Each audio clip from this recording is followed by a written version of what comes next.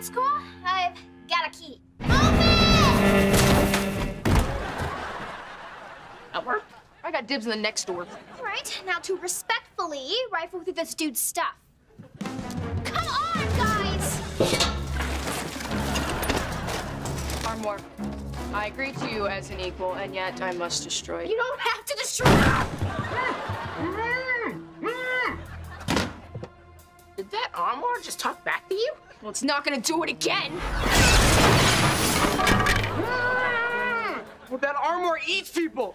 Everybody Oh, run. no, no, no, no, no. I think that's the real Chunk Manly. Dude, we can't understand you. Pretty sure he's saying take the gag off. Then I'll kick it off. Gag. I greet you as... Wait a sec. Why is that other manly pretending to be you? Because he wants to get revenge on Nana Winter, and he's gonna frame Captain Man for it. Double.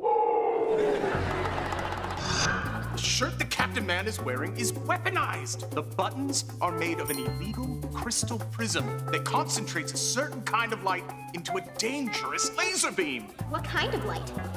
The kind of light that comes from a spotlight shining at the end of a fashion show runway.